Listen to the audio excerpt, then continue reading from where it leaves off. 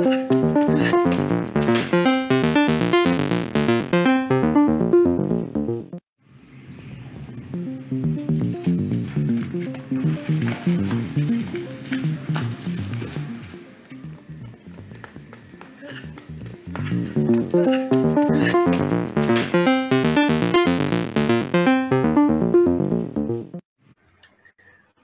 selamat datang kembali teman-teman di sesi terakhir untuk hari ini, hari pertama Festival Demokrasi Ekonomi.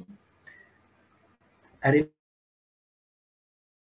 sesi yang lebih santai gitu ya daripada sesi-sesi sebelumnya yang mungkin cukup membakar semangat, membakar otak juga. Kita akan nonton film gitu. Bareng Nah, mungkin buat teman-teman yang uh, baru mau bergabung,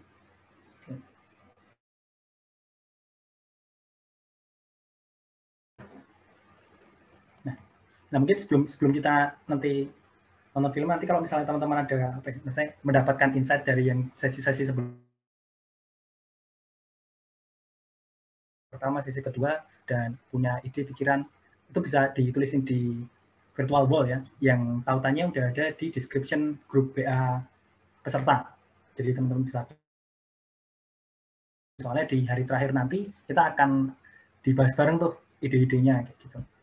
Nah bahkan mungkin nanti setelah setelah film ini juga teman-teman punya ide bisa juga dituliskan di sana. Lalu mungkin tadi juga belum sempat pesan-pesan sponsor ya. Teman-teman kalau ada yang mau apa pesan atau order merchandise Kapatma bisa akses bisa order PO-nya di tautannya merchandise debitly debitly slash merchandise FD 2021 atau bisa cek juga di tautan yang ada di description grup WA ya. Jadi merchandise-nya ada tumbler, ini udah ada sampelnya nih ada tumbler, ada juga notebook, notebook ratus halaman. Nah ini buat kenang-kenangan aja sih, biar bisa ada kenangannya lah walaupun kita virtualnya online, tapi minimal ada ada yang bisa dipegang secara fisik kayak gitu. Nah, kita akan nutup PO-nya tuh sampai tanggal 13 gitu, jadi H plus 1 dari acara rangkaian Festival Demokrasi Ekonomi 2021 ini. Itu aja mungkin uh, kita akan lanjut ke sesi nonton bareng pemutaran film diskusi gitu ya. Judulnya Can We Do It Ourselves gitu lewat YouTube. Uh, malam ini kita akan ditemenin, dimoderatori oleh Mas Bimo. Mas Bimo ini juga salah satu co-founder Gapatma. Tuh, halo Mas Bimo. Halo. Oke. Okay. Ya. Uh, kayaknya bisa langsung dimulai aja. Silahkan Mas Bimo. Weh, terima kasih Mas Bima. Kasihan Mas Bima udah serius seharian ya festivalnya. uh, teman-teman makasih yang udah hadir juga udah 16 orang. Uh, teman-teman yang lain juga masih ditunggu untuk uh, bergabung. Perkenalkan nama saya Bimo. Hari ini saya akan berperan sebagai moderator. Tapi apa sih yang akan dimoderasi tentang pemutaran film tentu tidak ada kan. Jadi kita mungkin akan uh, fokus uh, memutar uh, filmnya dan juga mengamati tentang film itu sendiri. Nah, uh, buat teman-teman yang belum pernah mendengar tentang Can We Do It Ourselves, uh, ini sebenarnya merupakan sebuah dokumenter uh, yang bercerita tentang demokrasi ekonomi menggunakan latarnya berupa Swedia. Uh, film ini di Film ini diproduksi oleh sutradara berupa Peter Witwolski dan tentu saja info-info ini saya dapatkan dari IMDb yang teman-teman juga bisa baca di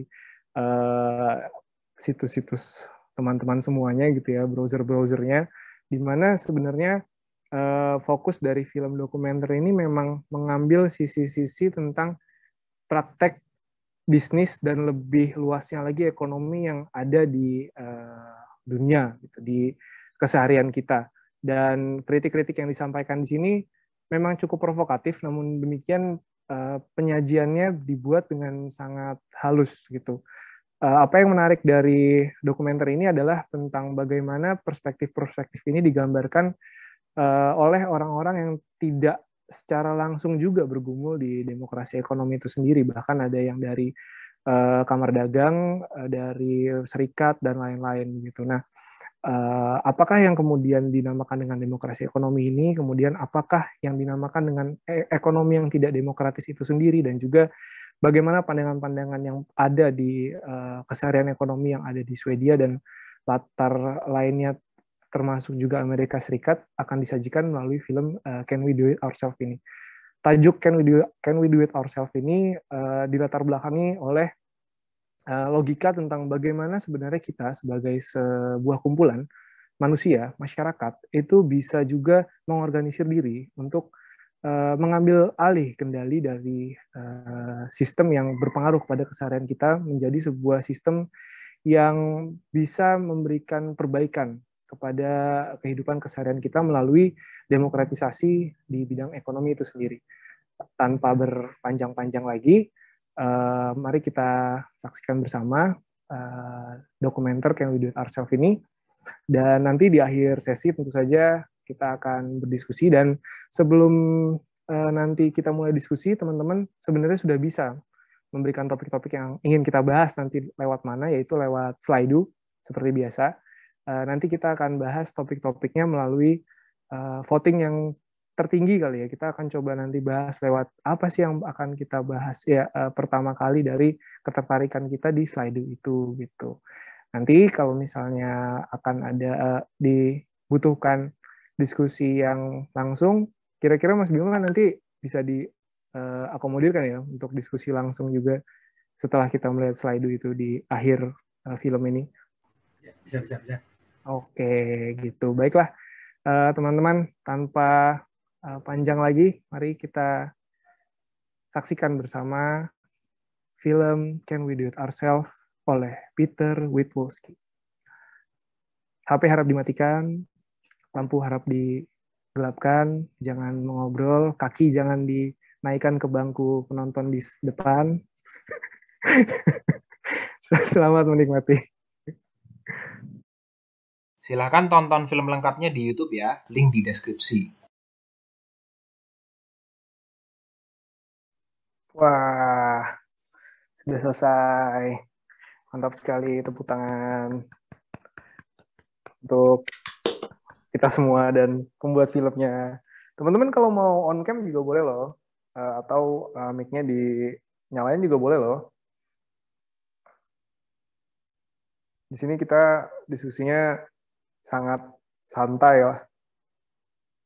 Dan semakin banyak yang uh, berdiskusi sebenarnya semakin banyak pertukaran sih tentang perspektif dan uh, bahasan yang akan diambil nanti dari si filmnya itu sendiri gitu. Nah, uh, teman-teman udah lihat di slide ya kalau misalnya mau ada uh, apa pandangan atau opini sendiri atau bahkan pertanyaan yang tentu saja kita jawabnya bareng-bareng nih dari pertanyaan-pertanyaan itu malah lebih kayak pertukaran uh, perspektif lagi-lagi ya tentang apa yang ingin kita bahas dari si filmnya itu sendiri. Tadi kita lihat filmnya tuh terbagi jadi lima bagian ya kalau teman-teman tadi saksikan. Itu uh, dari kelima bagian itu menurutku pribadi sih sangat representatif gitu tentang uh, bagaimana menjabarkan si ekonomi demokrasi dengan konteks yang dilakukan oleh sutradaranya yaitu di Swedia dan uh, pada saat itu gitu 2006 tahun lalu tuh berapa ya? 2017an kali ya sekitaran itulah gitu. Uh, kita dari yang awal itu dibawa tentang aku lihat catatan.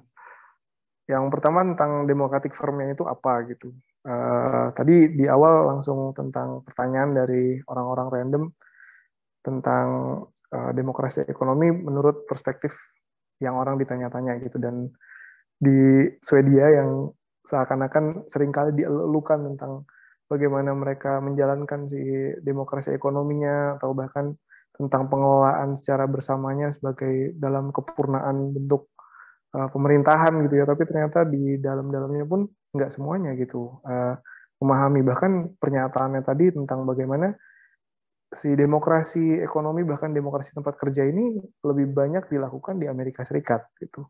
Si direktur sendiri mengambil langsung sampel di Amerika tentang bagaimana tadi uh, adanya kooperatif uh, kopi gitu ya, kopi yang perusahaannya demokratis yaitu si exchange uh, coffee itu.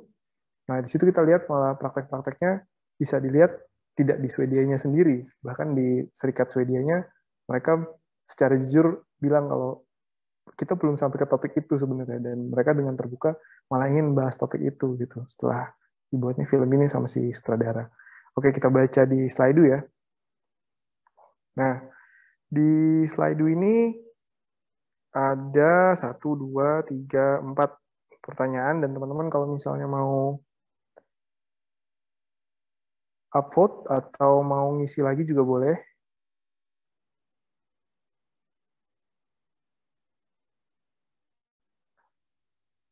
Dari Anonymous, dari Sena. Ini Sena, Sena yang Sena, Sena yang jadi dari Gapatma nih, nggak ada Sena lain kan?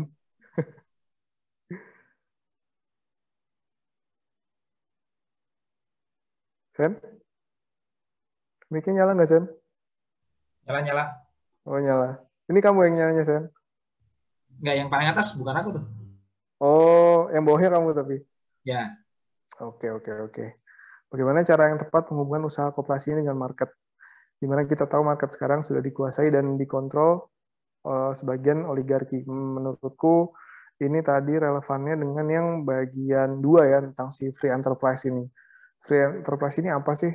Uh, ternyata itu konsep yang dinaikkan uh, juga oleh pemaham-pemaham si ekonomi kapitalis ini gitu. Nah kalau dari bahasannya sih kelihatannya pendekatannya tadi memang lebih ke bentuk pola uh, ekonominya ya, bukan hanya di bagian tata kelola manajerialnya gitu.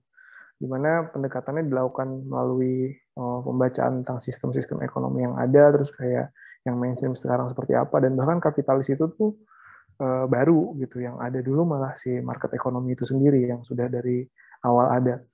Nah, untuk menghubungkan si usaha kooperasi dengan market ini mungkin bisa dilihat dari hubungan si free enterprise ini gitu dengan ekonomi yang hadir gitu. Kalau tadi di uh, filmnya dilihat ya tentang sebenarnya nggak pernah ada tuh yang namanya free market atau free enterprises. Nggak semua orang tuh segampang itu bikin usaha lah gitu. Nggak semua orang segampang itu bisa masuk ke ke pasar yang sekarang ada. Karena ya sekarang pasarnya sudah dikuasai gitu sudah dikontrol gitu.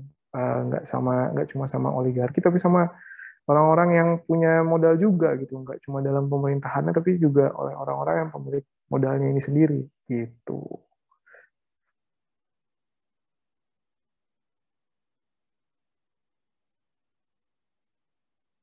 Ini teman-teman masih pada di sini kan? Atau saya berbicara dan merefleksikan dengan diri saya sendiri? Kita bisa uh, on cam dan on mic loh sebenarnya untuk diskusi bareng Ya udah dibikin unmute nih kalau pada mau. Oh iya, silakan silakan silakan. Nah, terus kita lanjut ke tadi di bagian tiganya itu tentang uh, trade unionnya gitu. Uh, aku kalau dari aku pribadi ya kenapa kemudian uh, penggunaannya itu ke trade union menurutku karena uh, kontekstualisasi pada saat itu memang dan di Swedia ekonominya sudah maju gitu nggak kayak di Indonesia yang dimotori oleh UMKM sehingga refleksinya dilakukan ke diri sendiri tapi di sana melakukannya lebih ke serikat-serikat yang sudah hadir gitu sudah merepresentasikan. Jadi eh, konteks yang dibawa di part 3 itu memang ke trade union seperti itu. Nah sebelum sampai ke eh, bagian keempat mungkin aku pengen eh, sedikit apa ya bersenang-senang gitu dengan fitur yang ada di Zoom ini. Uh, boleh nggak sih misalnya aku tanya ke teman-teman di sini ada nggak yang udah uh, bekerja gitu atau atau beraktivitas di sebuah uh, lingkungan environment atau firma atau bahkan uh, badan usaha organisasi yang sudah menggunakan itu gitu sudah menggunakan demokrasi ekonomi di kesehariannya? Kalau misalnya yang ada silakan di raise hand di fiturnya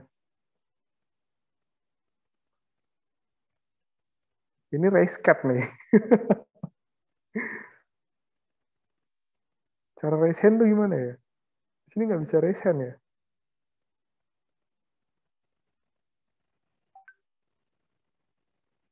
Bisa harusnya raise hand. Oh, aku co-host. Nggak bisa. Teman-teman kalau misalnya ada yang raise hand, silakan loh. Oh, ternyata nggak ada berarti ya yang di lingkungannya eh, apa ya demokratis secara ekonomi atau tata kelolanya gitu. Belum ada. Oh, oke oke oke. Ini dari Kopi Mas. Kopi Mas ini apa ya nama koperasi kah? Mas Andre Ferdinand. iya, iya. Koperasi Mitra Anda Sejati. Sorry, sorry, saya nggak bisa nyala kamera. Nggak apa-apa, nggak apa-apa. Iya, ya kita baru baru berdiri lah. Kita Hmm. baru berdiri. Eh, eh, ini berdiri karena pandemi. Udah darurat ya Mas ya, udah darurat. Oh, Udah kita- darurat. Ya, tapi justru Koperasi. ya justru justru karena pandemi ini ya, mungkin jadi orang baru baru aware gitu ya, baru sadar ya eh, untuk berkolaborasi, untuk ber, bekerja sama. Nah, tagline kita memang tagline kita bekerja sama-sama dan sama-sama kerja. bekerja sama-sama dan sama-sama bekerja. Ya, Sesuai lah jadi- ya, sesuai. Eh, Mudah-mudahan sesuai. tercapai beneran itu ya. Benar, mudah-mudahan.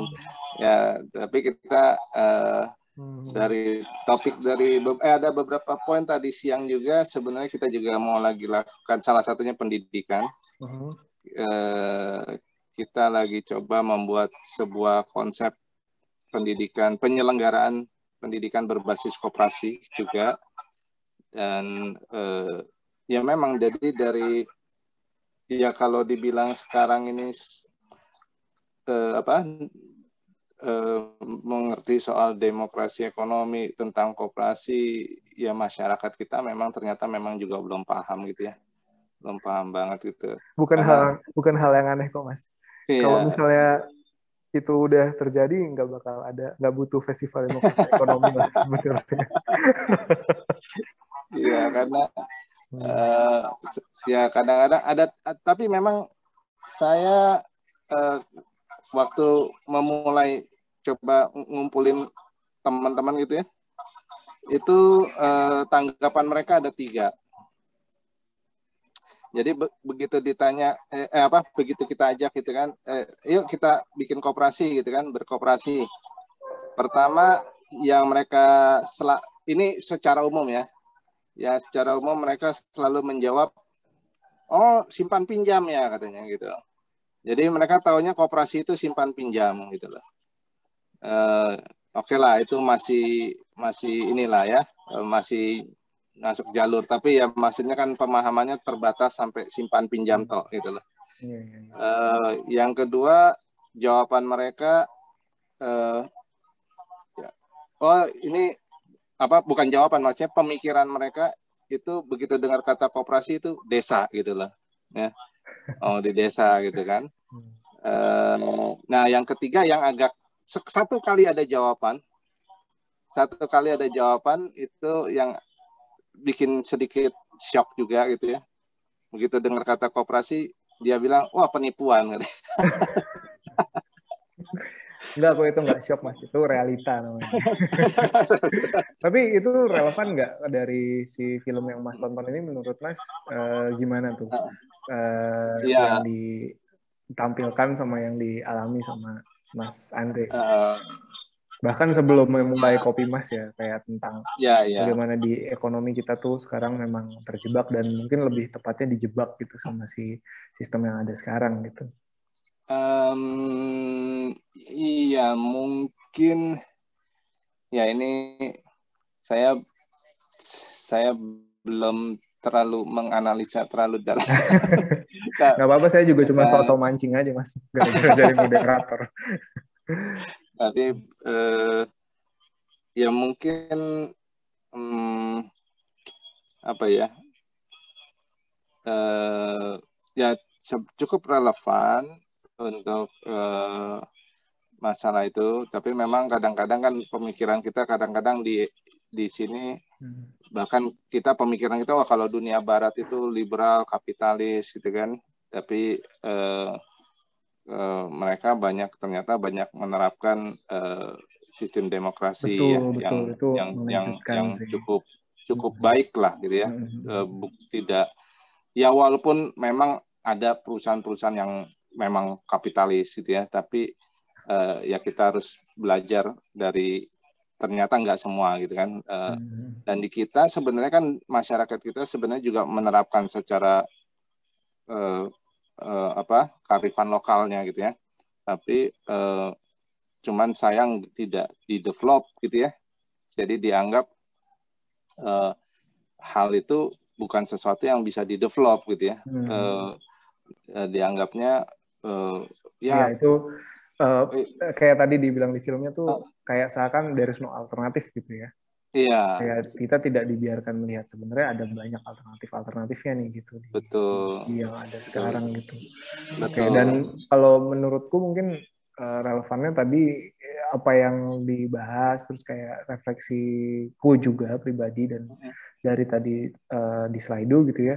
Kebanyakan mungkin membahas si yang chapter keempat dari si filmnya yaitu si Problem of the uh, Present-nya itu. Di sekarang tuh masalahnya ada apa aja gitu. Dan salah satunya Iya. menurutku juga tentang bagaimana uh, biasnya si kesempatan itu. Jadi kayak seakan uh, wah ekonomi yang sekarang tuh bilang kalau kita semua punya kesempatan yang equal. Dan itu tuh bukannya memancing ke uh, freedom itu sendiri. Itu malah pembiasan uh, kebebasan menjadi bentuk yang uh, sempurna-purnanya malah jadi berkompetisi gitu satu sama lain dan seakan tuh orang malah jadi bikin minder gitu ke apa yang dilakukan gitu. Ini Iya. salah satu yang jadi contoh mungkin Mas Rido nih Mas Rido Siregar dari pagi aku udah udah sampai apa loh Mas fotomu Mas dari pagi sampai sekarang udah ikutan terus loh Mas Rido. Di sini ngechatnya pengen angkat tangan tapi takut nggak valid Mas. Soalnya baru oh, soalnya unit usaha bikinan empat anak baru lulus kuliah. Kalau nggak mau angkat tangan, angkat kaki nggak apa-apa mas. apa angkat yang Iya. lain boleh. Tapi Ini- jangan jangan minder mas. Iya. Apa, Ini mungkin Mas Rido Berbagi mesti aja. bicara. Mas Iya, Rido Om. mesti bicara Ini biar saling, kita tahu. Saling mengenal nih. Ini kita tidak ada settingan ya, tidak ada settingan ya. Ini saling mengenal Mas Andre sama Mas Rido. Iya, Mas Angkat Rido, bicara co- Mas. ah, Mas Rido coba Hmm. bicara, coba cerita nih biar kita Hmm. tahu kan. Ini jangan jangan sangka Gapatma nih sebuah hal yang besar loh Mas. Ini nih Gapatma didirikan oleh lima orang pengangguran loh Mas. Jadi jadi Anda empat orang baru lulus kuliah tuh udah lebih prospektif sebenarnya. Silakan cerita Mas kalau pengen ada apa namanya ada masukan atau opini itu baik tentang filmnya atau tentang pengalamannya gitu. Wah ternyata orangnya sama kayak di foto. Silakan silakan. Eh iya, salam kenal buat Mas Bimo dan Gapatma yang lainnya. Ini kebetulan Rido. ikutan nobarnya tapi sambil gawe, nggak apa-apa ya. Oh ini bentuk eksploitasi kerja ya. Jam segini masih gawe loh gila. Enggak, ini emang karena berjuasi kecil aja jadi bisa menentukan jam kerjanya sendiri. Oh iya iya. iya. Menyadari diri ya, menyadari diri. Mantap, mantap. Eh, salam kenal aja, aku eh, Rido atau suka dipanggil Odir.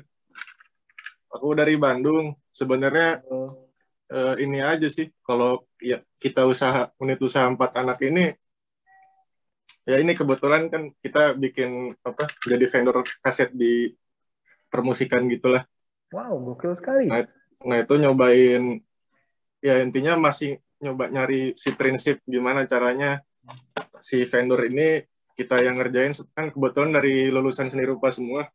Jadi bagian produksi kita bisa nge-handle terus abis itu ya keuntungan surplus kita tentuin bareng-bareng buat tiap kerja itu berapa.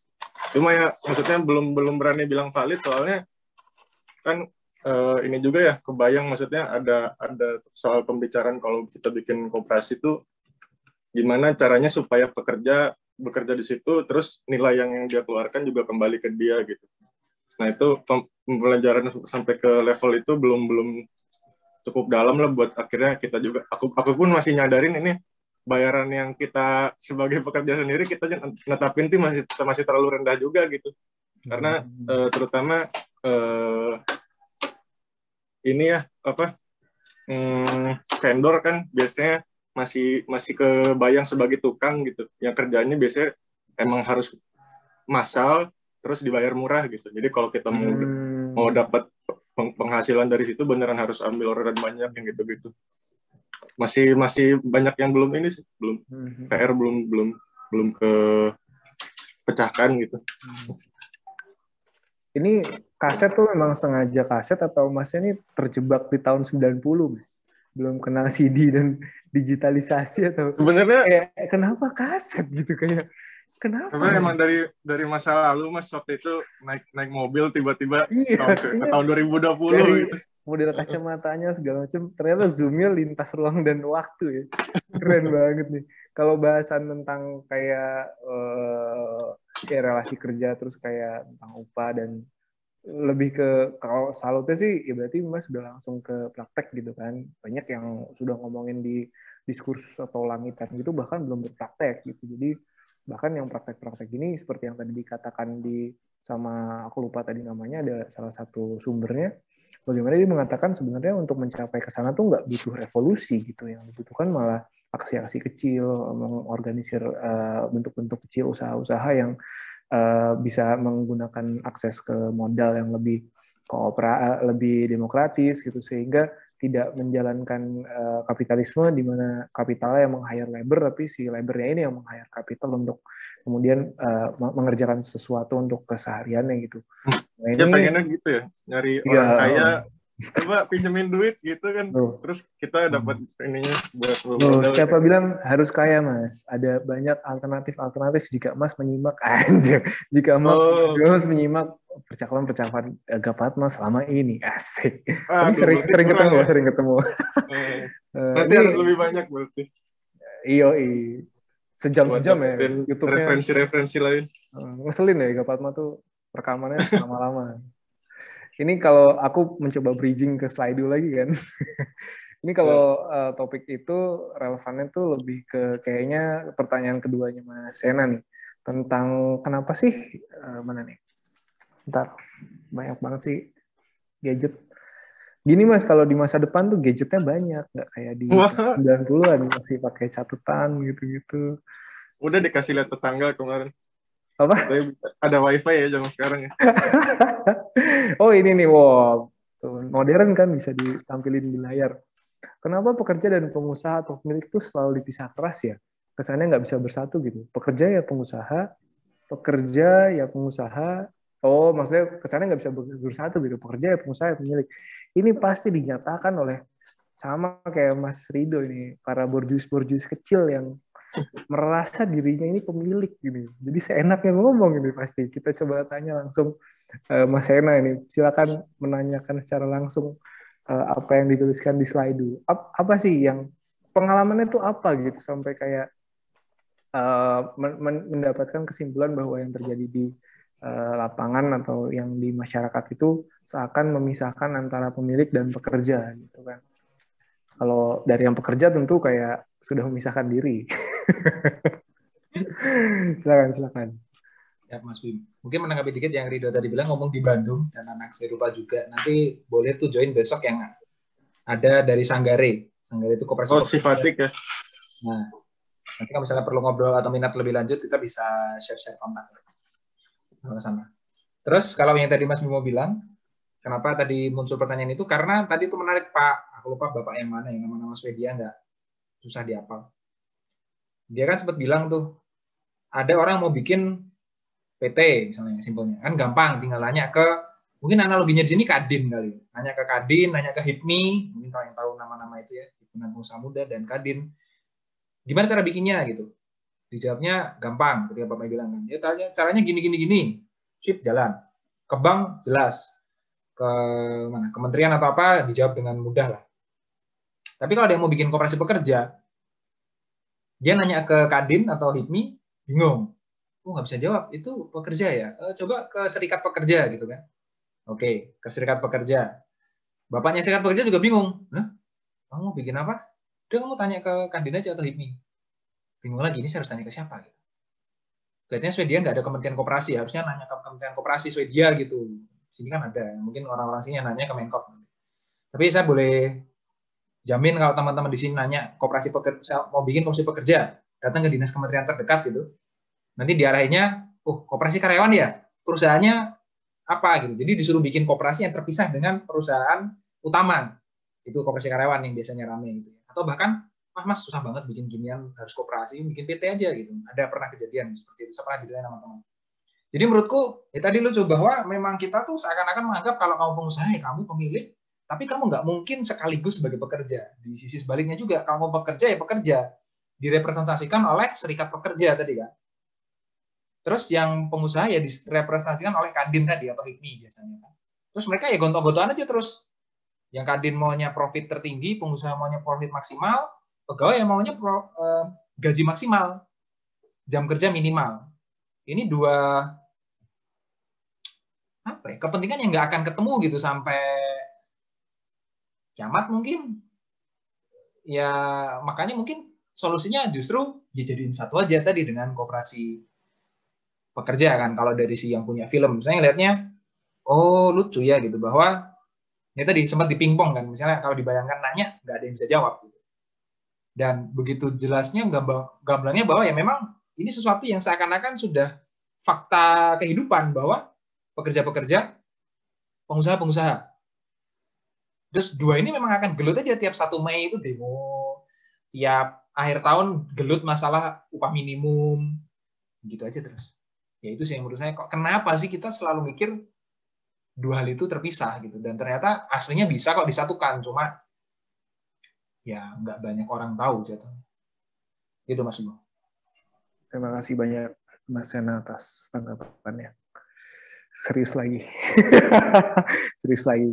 Seru banget memang nih. Gapat ini orangnya serius-serius banget ya. Uh, apa kalau di masalah terkait kayak statuta gitu ya seorang individunya uh, kalau di film lagi-lagi mungkin tadi bisa dilihat di bagian tiga tentang uh, si trade unionnya ini gitu kan. Uh, oh kalau di sini mungkin kelihatannya kayak saling gontok-gontokan gitu. Atau itu hanya yang ditampilkan gitu kan karena ketika kita telusuri lagi di dalamnya, sepertinya mereka berdamai di belakang, gitu kan, tentang bagaimana si trade union ini sebenarnya melembek, gitu, mengikuti uh, arus arus ekonomi yang ada, gitu kan, mengikuti kapital berada, akhirnya melembek dan uh, di situ kawin lah mereka kalau di situ bahasa ya kan, akhirnya mereka kawin lah, membentuk sebuah regulasi-regulasi yang seakan mendamaikan kedua belah pihak. Yang sejujur-jujurnya itu tuh tetap saja menindas uh, sebuah pihak yang lain yaitu pihak yang tidak memiliki power gitu. Uh, sangat jelas dinyatakan tadi tentang yang salah itu bukan kapital, bukan ekonominya, tapi tentang bagaimana power sudah mengendalikan uh, ekonomi yang sekarang ada gitu. Ketika kita ngomongin tentang ekonomi laissez-faire ekonomi tentang dari Adam Smith separah-parahnya kapitalis gitu ya kita langsung ke orangnya Uh, di situ dinyatakannya bahwa sebenarnya sistem yang ada sekarang eh yang ada diusulkan itu lebih ke arah efisiensi gitu, lebih ke arah kemanfaatan. Tentang sebenarnya kalau misalnya itu benar-benar terjadi, maka harusnya pemilihannya itu ke efisiensi dan kemanfaatan.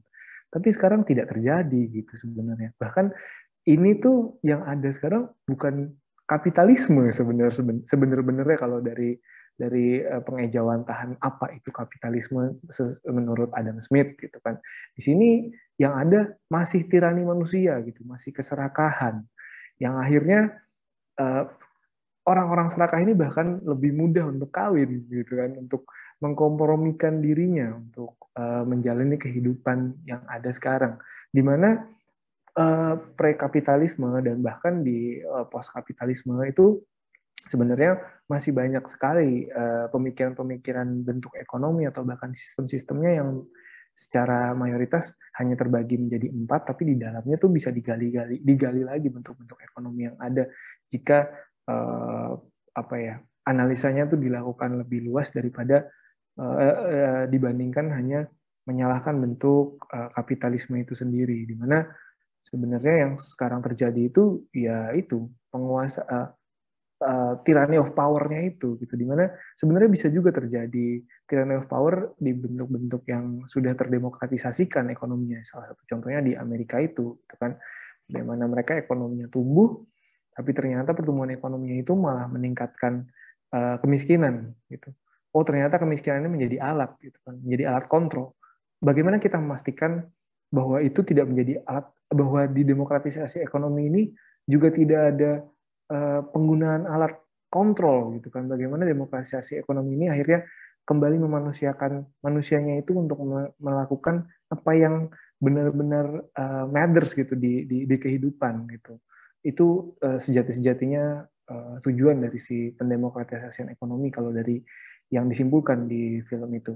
Nah, ketika belum menyadari bahwa keduanya ini sesama manusia gitu ya, sebelum-belumnya ada kapitalisme, sebelum-belumnya ada kapital dan labor, itu mungkin akan sangat sulit untuk uh, me, me, bukan mendamaikan malah ya, merubah mindset tentang pemilik dan pekerja sebelum menyadari sesamanya sebagai manusia. Apalagi tadi di dokumenter sendiri kita bisa lihat bagaimana kapital itu sudah kita jadikan subjek. Kita tuh setara dengan uang gitu. Setara dengan apa yang kita cetak. Itu aduh, apa ya? Rasanya uh, sakit sih sebenarnya tentang ternyata dan dan itu kenyataannya gitu. Kita bilang kapital itu seperti oh, sebuah hal yang kita lawan yang terimajin terimajiner tapi nyata nyata gitu, bahkan berpengaruh sama kita, melebih-lebihi Tuhan. Karena Tuhan itu imajiner tapi belum tentu ada bukti pengaruh sama kita. Tapi kapital tuh kita sudah bisa langsung melebih Tuhankan dia tentang bagaimana kita menempatkan dia sebagai imajiner tapi subjek dan berpengaruh langsung ke kita dan kita bahkan berdamai dengan si kapital itu di mana di belakang kapital itu sebenarnya manusia yang memiliki keserakahan bahasanya lah kalau di di film ini gitu ya Oke, kita lanjut lagi ke slide. Bacanya slide apa slide sih? So Inggris banget sih. Tolong ditampilkan uh, moderator asik. Eh moderator. Tolong ditampilkan uh, Bapak operator.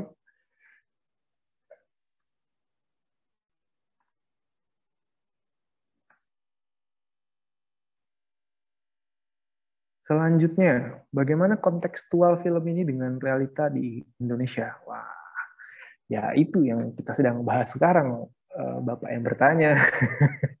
Tapi benar sih, eh, kontekstualitasnya itu mungkin bukan tentang merelevansikan apa yang terjadi di film itu dengan kita, tapi lebih ke eh, reflektif gitu ya, bukan evaluatif, tapi lebih ke menempatkan diri kita ke ke ke visi yang akan bisa dilakukan gitu di di Indonesia sendiri setelah kita melihat film itu uh, apa nih yang yang bisa jadi uh, insight gitu? Apa nih yang bisa jadi panggilan untuk uh, memperbaikinya? Seminimal minimalnya seperti yang dilakukan sama serikat buruh tadi menyadari bahwa kita belum membahasnya gitu kan. Seminimal minimalnya menyadari bahwa kita memang tidak tahu kita belum kerana itu gitu. Dan mencoba memulainya itu paling minimal gitu nah kalau di bidang itu aku mau manggil Mas Fadila atau Mbak ya ini uh, Fadila Kresna. Ini panggilannya he, she, atau atau they ini. Masih ada nggak ya orangnya?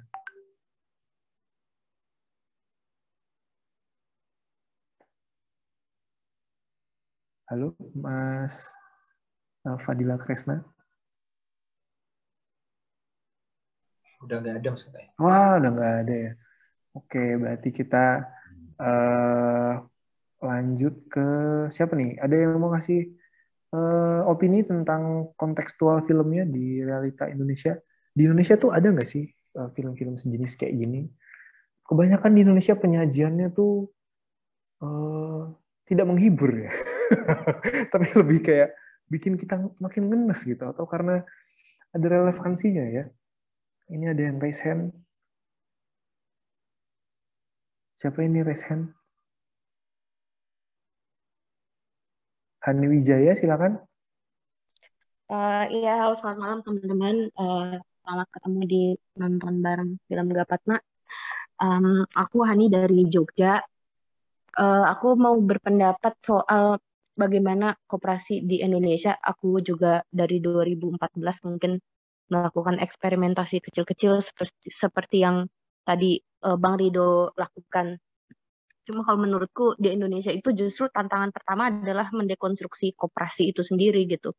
Karena uh, kalau kita lihat sejarah koperasi di negara lain mungkin dia uh, koperasi itu adalah uh, respon dari uh, warga sipil itu gitu ya yang bisa dibilang mungkin secara organik gitu. Karena misalnya kalau kita lihat dari tahun 1800 muncul koperasi gitu ya itu mungkin sebagai uh, apa respon terhadap revolusi industri banyak yang jatuh miskin dan lain sebagainya. Ada yang bikin ada yang bikin bread co-op ada yang bikin apa namanya uh, uh, macem-macem lah ya dia bikin bahkan mungkin kooperasi pekerja udah umum gitu dari dulu. Karena mereka itu menurut aku bisa jadi satu gerakan gitu yang organik karena memang dari bawah. Tapi kalau di Indonesia itu gitu kita itu kooperasinya bercorak e, birokratis korporatis formal harus berundang-undang dan lain sebagainya. Dan udah ada pengerucutan dan pengker, apa ya pe, uh, sangat sangat di, di, disederhanakan hanya menjadi simpan pinjam serba usaha atau konsumsi atau karyawan gitu yang yang yang yang kalau di sana kalau di luar negeri itu misalnya di tempat-tempat lain ada koperasi pangan gitu yang itu mungkin udah dari awal abad 20 1930-an 40-an udah muncul mungkin seba, sebagai reaksi perang dan lain sebagainya gitu tapi kalau di Indonesia kita sangat terkungkung dengan uh, apa namanya formalisasi koperasi itu sendiri gitu. Uh, bahkan saya juga agak sedikit uh, apa ya mencurigai gitu ya, kenapa kok Muhammad Hatta oleh si Soeharto yang sangat uh, fasis dan militeristik itu dan kapitalis itu dijadikan sebagai bapak koperasi gitu hmm, apa namanya uh, walaupun mungkin kita harus meradikalisasi Hatta gitu ya melihat ulang karena di satu tulisan dia yang tentang koperasi misalnya itu uh, pasca 1945 dia merasa bahwa tidak perlu lagi organisasi politik mari berekonomi gitu lewat organisasi ekonomi yaitu koperasi gitu uh, artinya ada pemisahan memang antara uh, koperasi sebagai perjuangan ekonomi dengan realitas politik yang menyebabkan ekonomi itu mungkin jadi sangat eksploitatif gitu ya. Um, yang pertama jadi kalau kalau kalau menurut saya kita sebagai generasi muda ini harus sangat berani dan menembus batas-batas yang memang udah di, dibikin gitu tentang si koperasi ini sendiri. Uh, maka mungkin nggak heran ketika koperasi pekerja itu sangat nggak populer gitu di di Indonesia dan dianggap sebagai barang baru dan sangat kontemporer gitu. Dan dianggapnya kebanyakan juga uh, kebanyakan teman-temanku yang memulai koperasi kerja itu yang bidangnya adalah uh, apa namanya digital labor atau immaterial work gitu ya yang uh, yang yang di yang di di apa namanya dikerjakan gitu. Uh, uh, seolah-olah kayaknya kalau misalnya uh, teman-teman peneliti gitu nggak bisa gitu bikin. Atau misalnya teman-teman penjahit gitu seolah-olah kayaknya itu nggak nggak ada kebayang gitu itu yang pertama. Jadi menurutku mungkin kooperasi kerja itu adalah upaya utama, upaya pertama untuk melawan uh, apa namanya konsepsi kooperasi yang ada gitu. Tentu saja akan banyak sangat sangat banyak kesulitan. Mungkin nanti Mas Sena bisa cerita soal Meridian ID gitu ya. Dari mulai uh, membikin sampai akhirnya bubar gitu. Itu kenapa gitu? Apa kendala-kendalanya gitu? Uh, apakah misalnya soal tadi, oke okay, kita nggak ada bos, tapi ternyata bos kita adalah klien klien gitu. Misalnya bagaimana misalnya apakah dalam kooperasi kerja itu uh, kita juga harus selektif terhadap klien atau gimana itu mungkin nanti bisa didiskusikan lebih lanjut. Tapi tadi yang kedua di film itu tadi saya melihat bahwa uh, kalau di di Amerika ya tadi itu ya uh, kooperasi anggota dari kooperasi kerja, kooperasi pekerja itu dia juga terlibat di inisiatif-inisiatif uh, yang punya semangat koop yang sama. Misalnya dia terlibat juga misalnya di credit union gitu ya. Atau mungkin dia ternyata terlibat juga gitu di di food co-op misalnya di tempatnya gitu ya. Kalau saya melihat uh, kredit saya kebetulan juga ber-CU dari tahun 2009 dan saya sangat mengkritisi CU ya gitu. Uh, saya juga uh, sangat apa ya melihat CU ini dia ini walaupun secara modal total dimiliki oleh seluruh anggota gitu ya. Tetapi corak usahanya bisa sangat kapitalistik gitu. Kalau menurut saya gitu ya. Jadi e, ternyata e, memiliki modal secara bersama-sama enggak serta merta kita jadi anti kapitalistik gitu. Jadi jadi anti kapitalis enggak gitu. E, apa namanya? Mestinya CU itu kalau banyak CU di Indonesia gitu ya. Mestinya CU itulah yang mendorong munculnya apa namanya itu uh, kooperasi-kooperasi pekerja gitu. Dia mestinya menginisiasi bentuk-bentuk unit usaha yang dimiliki oleh pekerja gitu. Tapi kan kita sampai hari ini tidak bisa mengecek bagaimana CU misalnya bisa uh, apa namanya memberikan kebijakan oke okay, kita hanya menerima kredit misalnya yang usahanya kolektif misalnya atau yang tidak dia yang usahanya yang tidak merusak alam atau kita harusnya punya prinsip-prinsip yang memang menjadi varian terbalik dari kapitalisme gitu ya. Tetapi saya rasa gerakan CU di Indonesia besar gitu ya, tetapi dia tidak uh, serta-merta menjadi alternatif terhadap kapitalisme. Uh, karena uh, banyak juga di Kalimantan itu uh, apa namanya CU yang mensponsori sawit sangat banyak gitu ya. Dan juga dia tidak bisa menjamin demokrasi di tempat kerja gitu ya oleh si anggota yang meminjam uh, uang itu. Dia misalnya nih dia pinjam uang 100 juta saya mau bikin usaha laundry atau pabrik atau apa pun gitu. Dia CU tidak bisa memastikan bahwa uang yang dipinjam itu akan dipakai untuk satu model usaha yang eh, menerapkan prinsip demokrasi di tempat kerja. Itu tidak dilakukan. Saya pikir kita generasi muda yang istilahnya uh, eh, CU itu kan udah lama dari tahun 80 gitu ya di Indonesia gitu. Mungkin kita di generasi muda sekarang yang mungkin uh, tapi CU itu sangat penting. Menurut saya CU itu sangat penting gitu. Uh, tapi CU itu tidak boleh menjadi teh botol sosro yaitu menjadi jawaban atas semua persoalan. Apa pun masalahnya minumnya harus uh, teh botol sosro gitu ya. Nggak bisa seperti itu gitu. Karena CU sendiri itu uh, uh, apa namanya dia sangat bagus gitu tetapi tidak serta merta harus ada upaya lebih lanjut lagi untuk me me menjadikan gitu ya eh, usaha-usaha yang didorong oleh CU itu menjadi alternatif terhadap kapital uh, sistem kap apa jenis-jenis usaha yang bercorak kapitalistik gitu ya. Uh, itu yang kedua. Yang ketiga uh, jadi gini maksud saya yang kedua tadi untuk anak-anak muda kita gitu ya beberapa di sini mungkin udah ada yang jadi anggota CU kita harus men-challenge CU kita harus uh, apa namanya me, me menantang CU gitu ya untuk mengubah corak dia gitu ya dari yang tadinya oke okay, modal dimiliki anggota tapi apa dampaknya gitu belum tentu gitu. Jadi kita harus mendorong CU juga untuk merefleksikan dan mengkritik dirinya apa yang harus saya lakukan lebih lagi gitu ya untuk bisa menciptakan yang betul-betul disebut dengan demokrasi ekonomi gitu. Eh, menurut saya tuh belum ya, belum terjadi karena CU mendorong UMKM dan kita tahu UMKM itu juga ada kelemahannya. Tidak ada kontrol terhadap pekerja, tidak mungkin ada BPJS, tidak mungkin ada jaminan kesehatan, tidak ada pembatasan jam kerja dan lain sebagainya gitu. Dan CU banyak melahirkan UMKM UMKM gitu. Nah yang ketiga uh, aku usul Gapatma juga mungkin selain ada di YouTube gitu ya dan juga di Instagram mungkin bisa menginisiasi lagi kayak tadi di film itu aku lihat ada periset koperasi gitu. Ada periset koperasi. Jadi uh, kita sendiri belum belum pernah tahu sebenarnya uh, ada berapa banyak jenis koperasi baik yang dia itu menamakan dirinya koperasi atau tidak menamakan dirinya koperasi seperti apa gitu seperti apa dia apa namanya um, uh, beroperasi yang tadi di sesi sebelumnya ada Mas Yoyo gitu ya terus juga di sebelumnya ada uh, Mas Tauhid sangat uh, me, apa namanya mengedepankan ya bentuk-bentuk koop yang ada di desa bahkan tidak bernama apa itu? Kita nggak tahu gitu. Kita belum pernah tahu gitu. Nah menurut aku mungkin juga bisa ada satu platform belajar yang sifatnya dia memproduksi gitu ya uh, tapi juga mendistribusikan bentuk-bentuk uh, pengetahuan uh, tentang si kooperasi ini gitu uh, di luar dari uh, YouTube dan juga uh, karena menurut aku aku mau ikut uh, mungkin ini Mas uh, moderatornya Mas Bimo Aryo ini juga mungkin dia mau ikut gitu ya Mas. Uh, untuk menjadi uh, mulai uh, aku nggak tahu gimana gitu tapi menurut aku kita harus ada sekolah koperasi. Kita harus ada sekolah koperasi kita kita harus punya epistemologi ekonomi yang melawan ekonomi neoklasik gitu. Seperti apa? Nah ini uh, kan kayaknya yang paling uh, apa ya uh, terdepan ya sekarang ini. Kalau saya perhatiin tempat-tempat belajar koop ini ya Gapatma ini gitu. Jadi uh, semoga ya kan? Jadi semoga Gapatma bisa uh, apa namanya uh, menjadi apa ya uh, inilah gitu. Mem memulai gitu untuk belajar koop lagi sampai ke praksis karena saking kita ini sudah terlalu kepala kita ini terlalu diselubungi oleh cara pikir yang uh, satu itu aja, satu dimensi itu aja gitu. Ya. Jadi memang perlu gitu uh, injeksi-injeksi yang lumayan masif dan kontinu gitu. Jadi saya pikir gitu aja. Terima kasih uh, buat teman-teman semua. Terima kasih Mbak Ani. Saya merasa berhasil sebagai moderator kritis sekali dan pakai gapatma di belakang memuji-muji kurang apa coba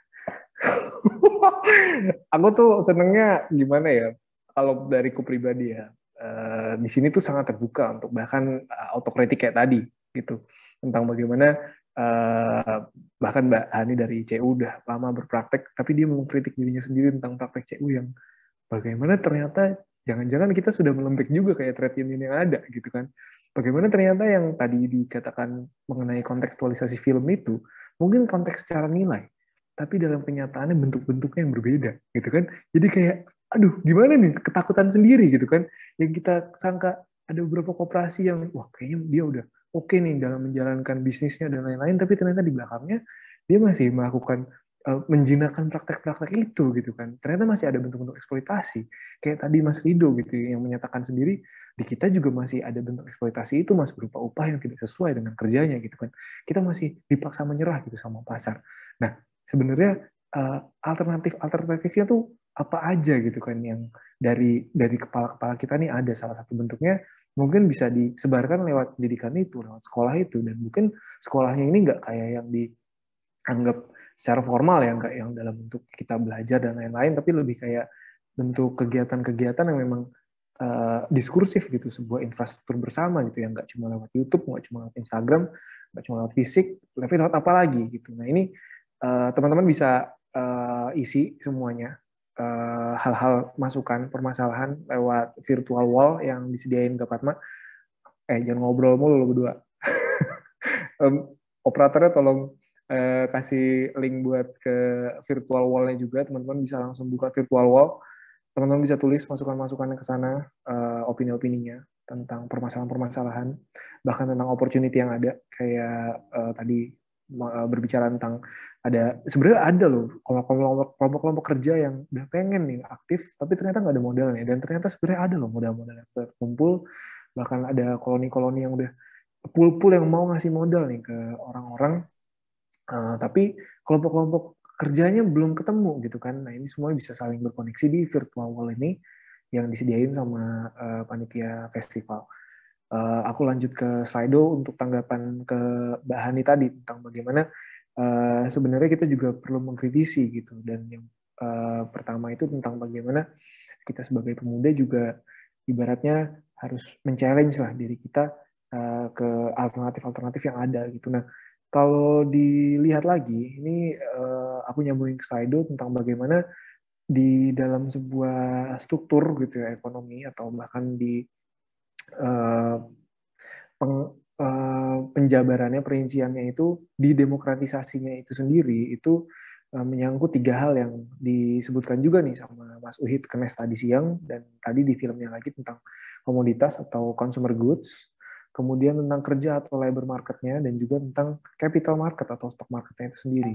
Yang ketiga-tiganya itu bisa didemokratisasikan, gitu kan sebenarnya.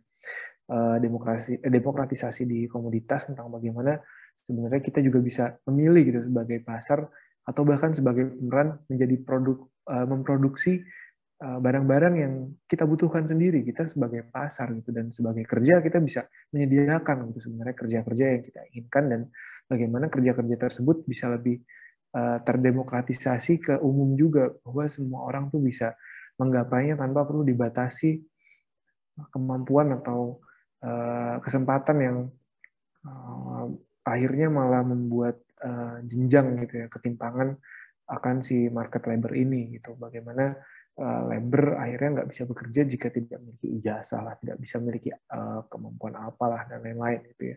Dan yang terakhir tentang uh, kapital pembiayaan. Ini nyambung juga ke pertanyaan yang selanjutnya tentang koperasi itu pasti juga butuh modal.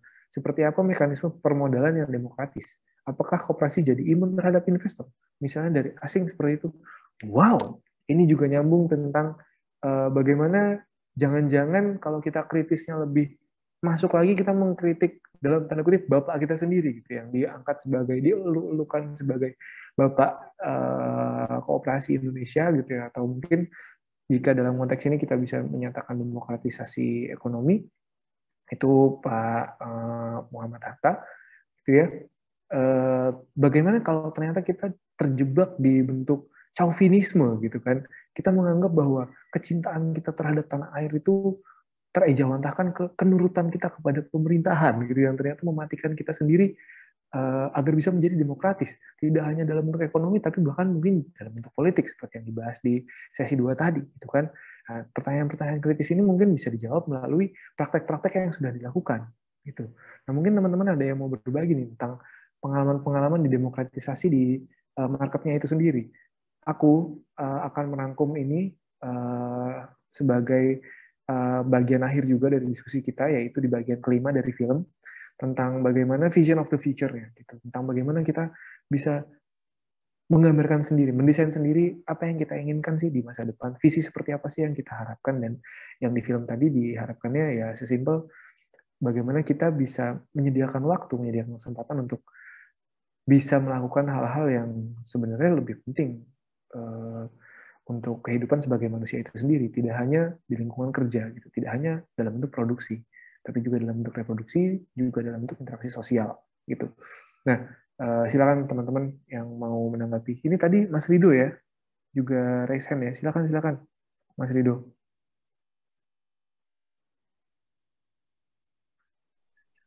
Oh, enggak tadi sebenarnya kalau yang resen itu pas yang Mbak Mbak siapa tadi Mbak Hani ya?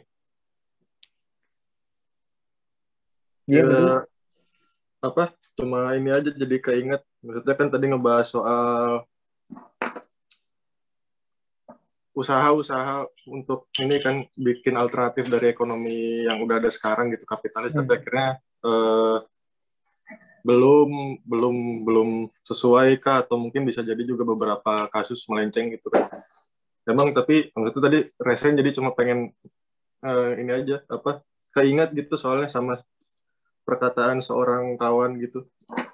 Kalau emang mengusahakan kooperasi pun atau bentuk alternatif apa pun di ekonomi alternatif nah yang yang lain yang lain dari kapitalisme itu hmm, apa bahasanya jangan sampai jadi lingkaran eh, ekonomi demokratik yang eksklusif atau lingkaran hmm. ekonomi kalau nggak mau dibilang sosialis ya hmm. yang yang uh, jadi mungkin di lingkarannya sendiri nggak uh, ya gitu bisa bisa berhasil mewujudkan upaya-upaya itu tapi akhirnya dia juga ke rantai uh, produksinya itu sendiri nggak nggak nggak menyebar gitu hmm. mungkin malah dia jadi bisa uh, cuma jadi ini kan secluded gitu ya malah jadi kayak secluded dan jadi itu juga baut-baut baru hmm, ya, ya. dari sistem jadi, kapitalisme yang sudah ada eh, bahasanya perpanjangan gitu. tangan gitu, perpanjangan tangan ya uh -uh,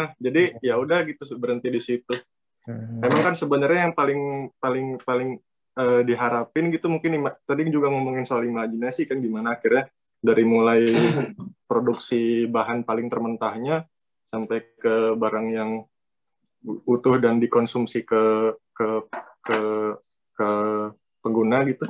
Ya itu itu uh, lepas semua dari dari rantai kapitalisme itu kan hmm, hmm, hmm, dan justru justru uh, jujur aku sendiri juga malah jadi nggak kebayang sebenarnya kalau kalau di setiap rantai itu dijalankan secara uh, tidak kapitalis itu seperti apa ya nanti? Apa apa jadi produk akhirnya mahal kah atau apa nggak ngerti deh. Iya. Uh, imajinasi yang menakutkan ya mas ya? Bagaimana ternyata nggak nggak menakutkan juga sih tapi nggak kebayang aja gitu. Sebenarnya tuh sampai sejauh apa sih kalau benar-benar kayak judul filmnya tadi? Uh, bisa nggak sih sebenarnya kita melakukannya sendiri gitu kan? Tentang hmm. pasarnya bahkan tentang dari bahan bakunya dan lain-lain bahkan tentang organisnya si si ekonomi yang ada gitu. Uh, semudah-mudahnya membayangkan mungkin kayak tadi di sesi satu ya uh, ada ada contoh yang menarik dan aku sendiri sering pakai tentang uh, basic yang kita analisa tuh dari kehidupan kita sehari-hari aja deh gitu. Yang paling simpel mungkin tadi contohnya ada orang BUMN dari PLN gitu ikutan ngomong ya. Uh, dia bilang saya di PLN dan saya tertarik sama ide ini dan dia juga uh, menyatakan iya ya kenapa saya nggak pernah berimajinasi tentang kalau PLN dikooperatisasikan gitu. Bukan dikorporatisasi ya tapi dimiliki bersama akhirnya di, dijadikan kooperasi si PLN ini. Yang akhirnya mungkin ya nggak ada lagi tuh masalah tentang akses listrik tidak merata atau tarif yang akhirnya tinggi tapi ternyata perusahaannya merugi dan lain-lain gitu gitu. Itu dalam bentuk demokratisasi firmanya itu sendiri gitu.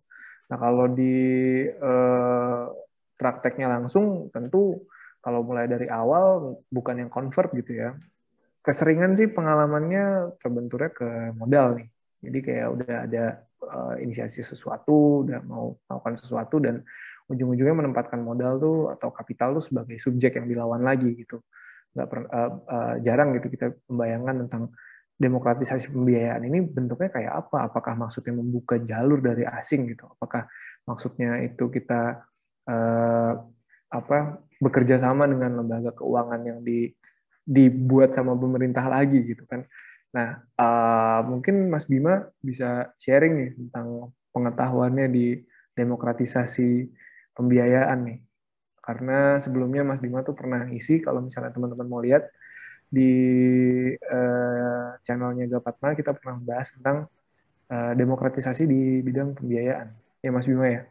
Iya sih, pernah beberapa beberapa kali bikin uji coba ya. yang di YouTube itu lebih ke apa namanya bahas bahasan teknisnya, tapi kalau contoh contohnya pernah beberapa kali itu kurang lebih tujuh kayaknya uji coba model pembiayaan yang lebih demokratis lah. Ibaratnya kan kalau pembiayaan yang seperti biasanya kan semakin banyak memodali ya berarti akan semakin banyak powernya untuk mengambil keputusan. Nah, sebenarnya kan yang di apa ya di breakdown sama koperasi atau demokrasi yang kan sebenarnya itu kan ya belum tentu ketika memberi lebih banyak modal lebih banyak power untuk menentukan gitu.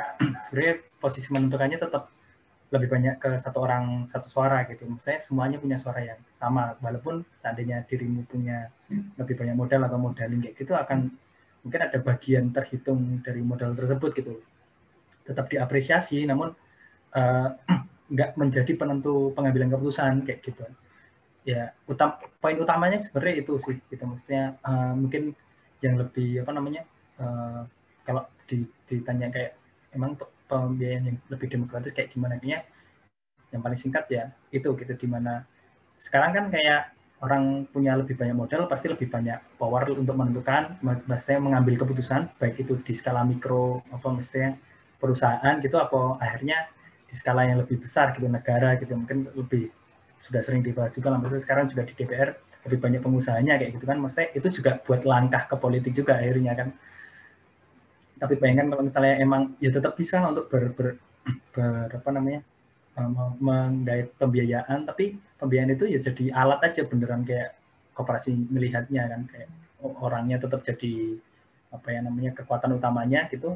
Modalnya jadi alat bener-bener di hire gitu modalnya gitu. Hmm.